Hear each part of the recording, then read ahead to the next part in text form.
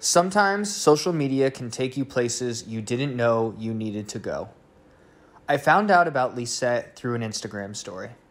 She was hosting a live acoustic concert on Miami Beach during Music Week. It sounded like it could be a nice change of pace after all the uns uns. And I was correct.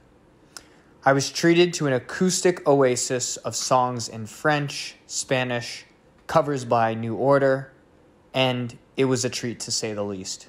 When I think of Liset, the first word that comes to mind is talented.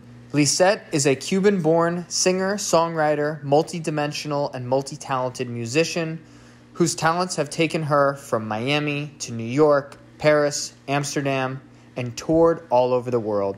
She has an incredible resume as a musician, touring the world, live performances to 1.5 million people, underground music shows, you name it, she's done it. But what I found most remarkable and most interesting was her story and how she came to the US with her family through exile from Cuba. The story tugs at your heartstrings, to say the least, and it's a reminder of how our past and our struggles can fuel our art. For Liset, she feels like she's just beginning to hit her stride as an artist, and I can't wait to see what the future holds for her. All links to her socials and music videos are in the description below. Please make sure you check them out and give her a follow. You will not be disappointed. So without further ado, let me introduce Liset Alea. Hi. Thank you so much. You're the bomb. Your patients are the bomb. Thank you for inviting me into your home to do this. It's like you, stranger coming, you don't know who the hell I am, and you're letting me come in here. So I want to say thank you so much. You're welcome. Um, last weekend, just give some context. Last week, last week, last weekend, two weeks, it was a whirlwind. Was Miami Music Week. Organized chaos, the most fun chaos I've ever had in my life for multiple reasons. And I'm here for Miami Music Week, and I want to give a shout out to Super Progressive and Will, who's the reason I'm able to have the conversation with you and other artists. And we're here, and I'm at the sound garden. Your husband, partner, is performing, Rodriguez Jr., and I come to find out on his story that you're doing an acoustic session yeah. in the park on South Beach, vibes, Yeah. the most vibes. So I want to talk about that, and I want to talk about a couple of other things in regards to just like your influences and where you pull inspiration. And the reason I want to talk about this is because Miami is a cultural hub for so many different cultures, spec- but specifically for music. And during Miami Music Week, there's a lot of electronic music just happening. And your acoustic session was a gem to stumble upon. Thank you. So thank you, one, for that. And I want to just ask, how did you come about planning the acoustic session during Miami Music Week? Where did you pull inspiration from? And I'm just going to pass it over to you because I want to hear all about it. Okay. Well, first of all, thanks for coming. Thank you. Thanks for bringing coffee. and um, I did ask if you wanted a cup. yeah, And he we said, shared it. No, we shared. I know, but I offered to get both, and he said that you had to run. No, uh, we, share to the anxiety created by coffee, so we may as well share the cup.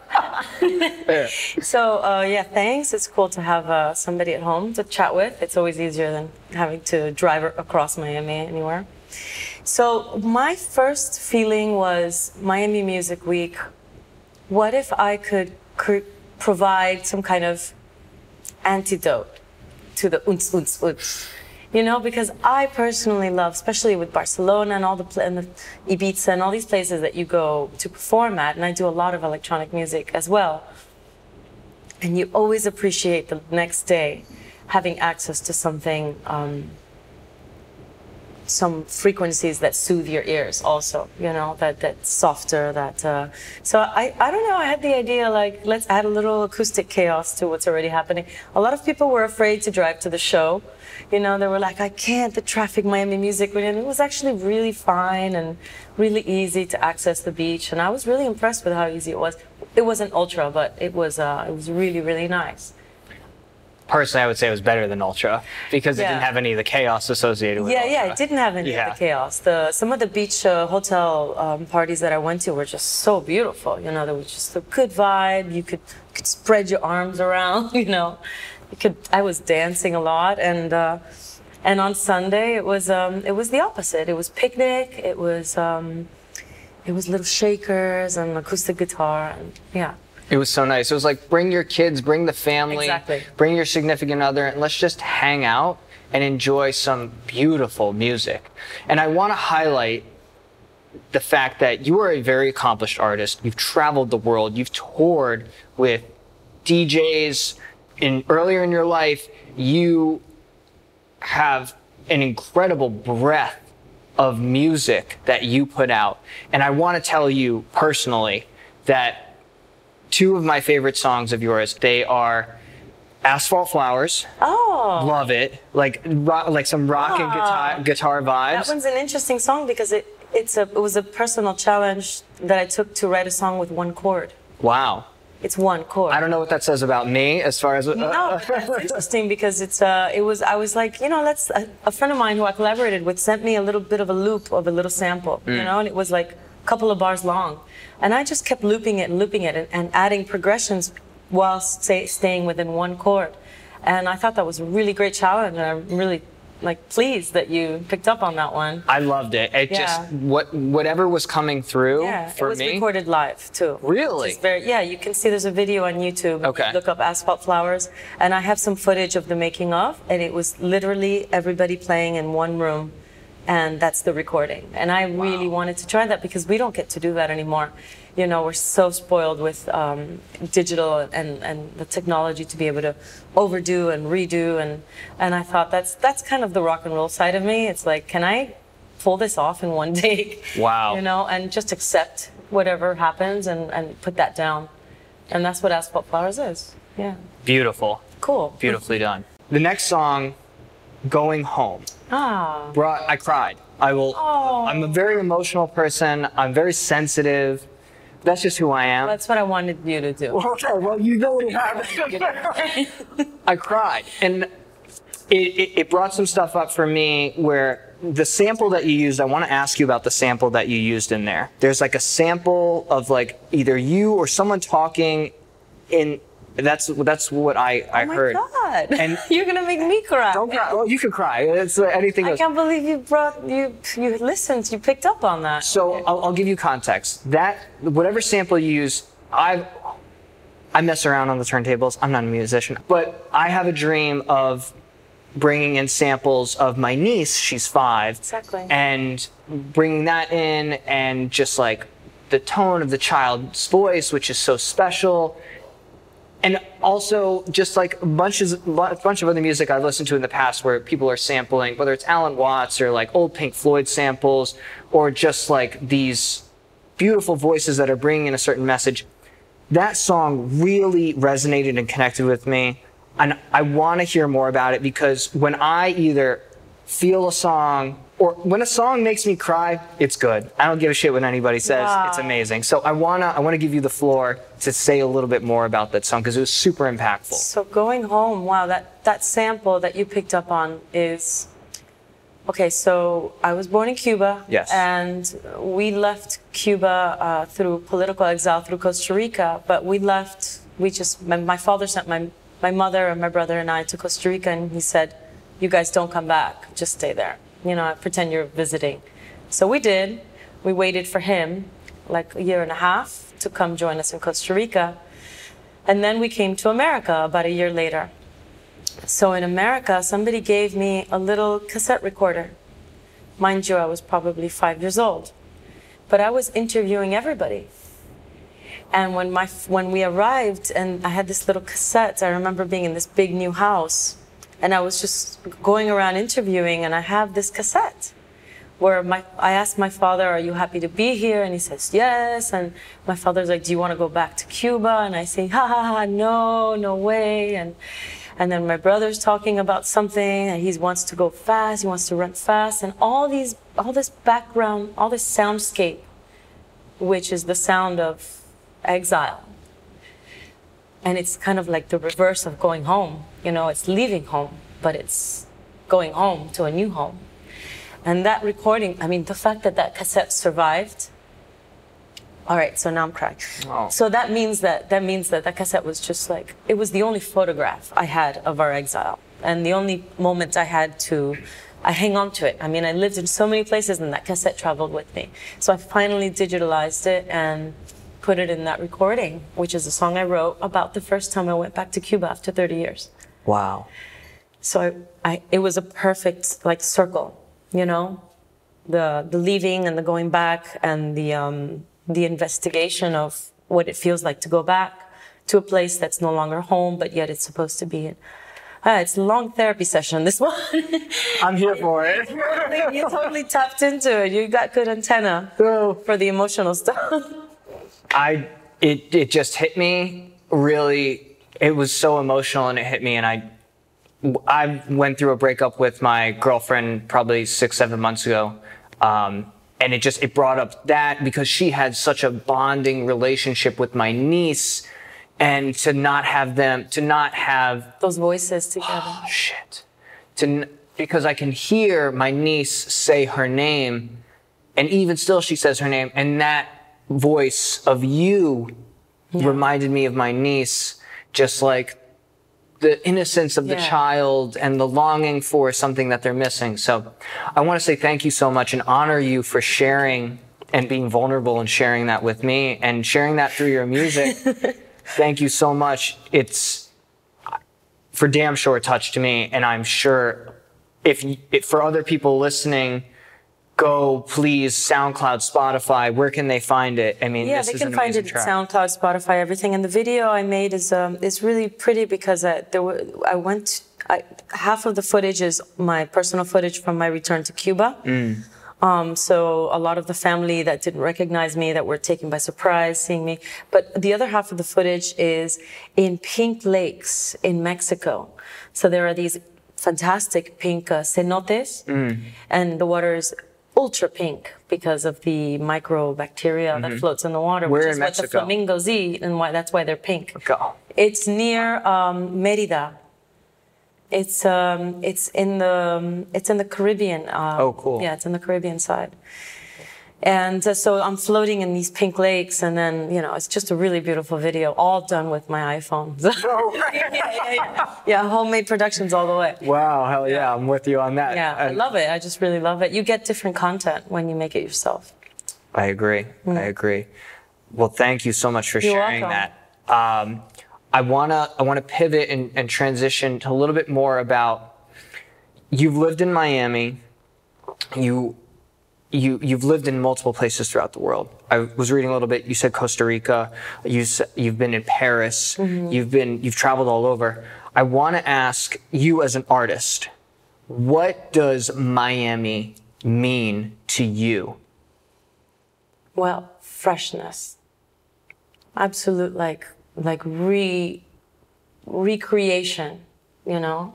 Creation, recreation, meaning you're like bleached out by the sun and you can you can start again in something that's like clean and pure and and, and intense because Miami's intense. And you kind of also isolate at home in Miami because it's so hot. So there's this kind of intensity of being in your studio at home and uh, it's less distractions. There aren't a hundred museums to go to. There are three or four and i do go to them all but i, I like that it's a smaller scale at the moment. Um, and yeah the water and the, um, the blossoming. I mean i go and experience things in miami that i, I never thought i would you know? During um, art basel there are lots of off basel things that are really fantastic happening in little hotels, like just happening all over the place. And Miami's just come back to life. I left Miami almost 15 years ago. I can't recognize most neighborhoods I, I, I left behind, you know? So yeah, it's restart. It's restart in, under the sun. I think that's a beautiful analogy in bringing in all of the elements that are so true to Miami and South Florida, but mainly Miami. And to your point, these big cultural events, Art Basel, Miami Music Week, they attract multiple types of crowds, but I think for and you don't have to be a connoisseur to come to these events, right? There's something for everybody. But I think for the people that live in Miami or want to visit Miami, to your point, there are these pockets Mm-hmm. that you can go to, like your oasis of acoustic vibes Yeah. at South Beach. Yeah.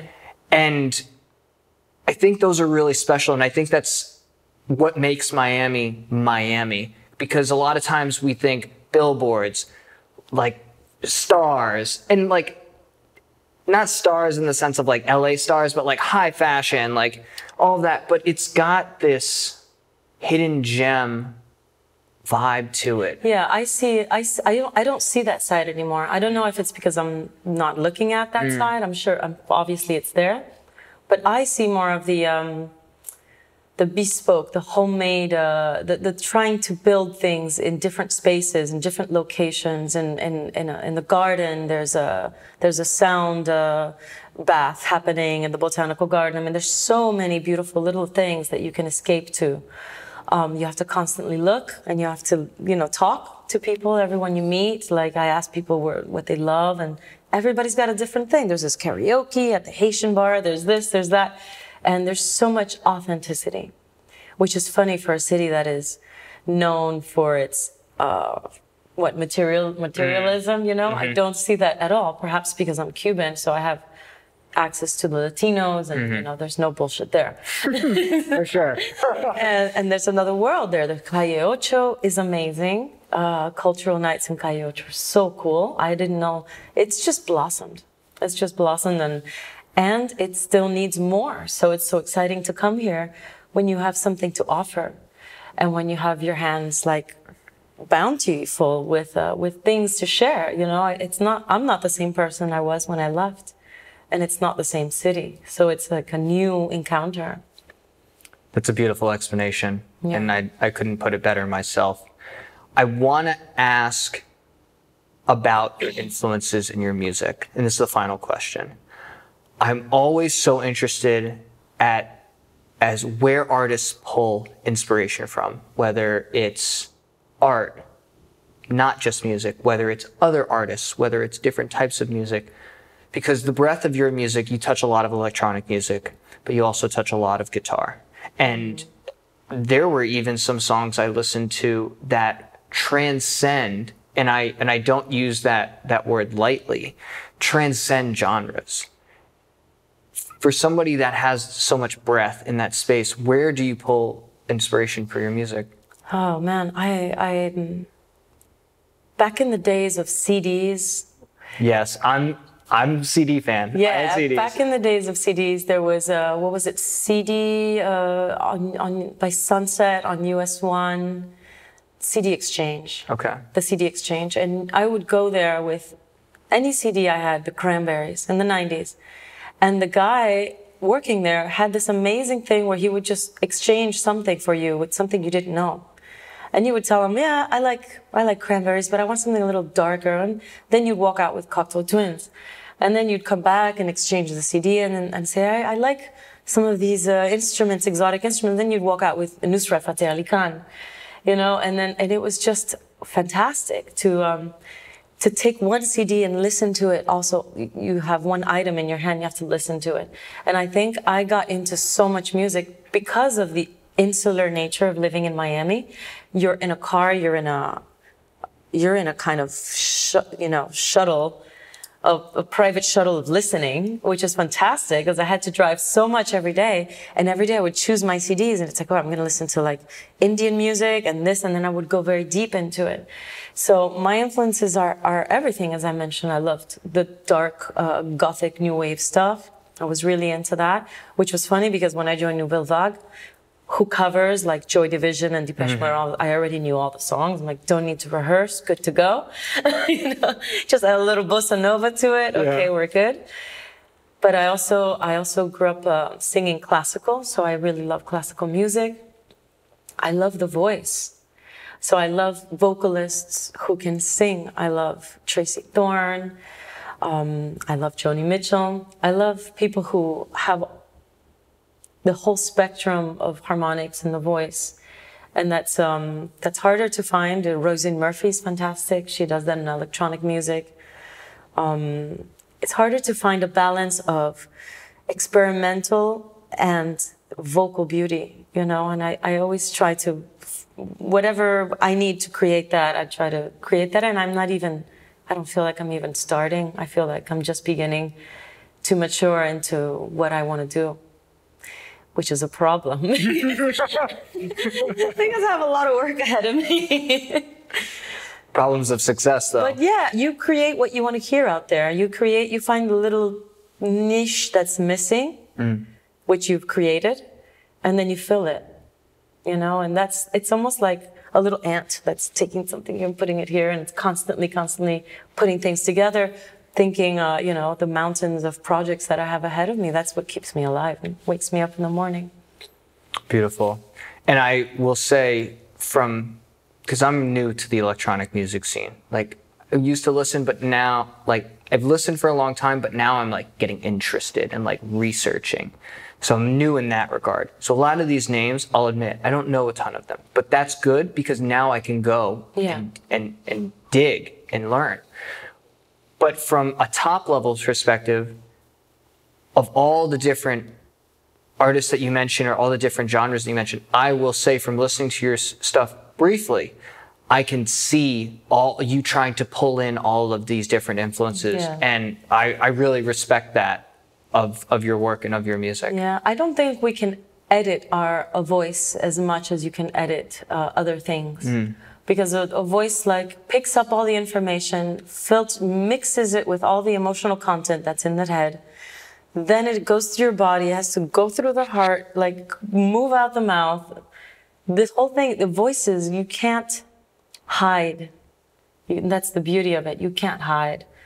Well, many people do, but uh, you can hear it. Mm. And it's easy to create a genre or fix yourself on a genre when you're playing another instrument, but maybe with a vocalist, it's a little harder to hide. And I like that. Yeah, it's got soul. Yeah, it's it's got its identity, yeah. undeniably. Mm, really well put. Really well put. Thank you so much for your time. Yeah, thank I you. really appreciate it. You're awesome. Thank, thank you. you. for being so vulnerable and, and taking the time out of your day to do this. I know we had some hiccups in the beginning, no. sweating outside, we moved in and out, but I appreciate, I really appreciate your time and I really appreciate your perspective on what Miami is and is looking forward to yeah. in the future? Yeah, I'm going to be doing a lot more stuff in Miami. Um, so, yeah, where can people find you? What do you have coming up that you want to tell well, people I'm working about? on bookings at the moment, so cool. we'll, we'll, see. But um, I've got my Instagram. You can always go on my Instagram and be in touch, and I post everything there. And I've got releases coming up with another one coming up with Rodriguez Jr. Um, in May called Visions. We just released a track called Amplify. I saw. Which is really, really um, a powerful one. And um, there's other projects, project from New York. I'm going to be putting that out uh, after the summer. There's so much stuff coming up. So Amazing. Lots to get excited about. Congratulations on Amplify. That's huge. I, John Digweed gave you all a shout out. Yes, he did. Transition. Yes, he did. So awesome. Olivia double double tracks. I saw that yesterday. Yeah. so it's big. It's big. It's huge. And that song is really, really important to me personally because it's it's exactly the message that I'm trying to give with music. You know, what what gets you high, especially when I don't get high anymore. Mm. What's gonna get me high? what's gonna get the frequency, the goosebumps yep. up there? You know, and it is definitely electronic music because electronic music just takes me there it's like an elevator ride, you know, acoustic. I kind of have to take the stairs sometimes. That's a good analogy. But yeah, with with the electronic and with amplify, it's just like whoosh, this feeling of amplify me, you know, take me. It sends you. I listened to it yeah. a couple times already, and it really puts you in that place. So I can appreciate that. All right, cool. Thank you so much. You're welcome. All right. Bye.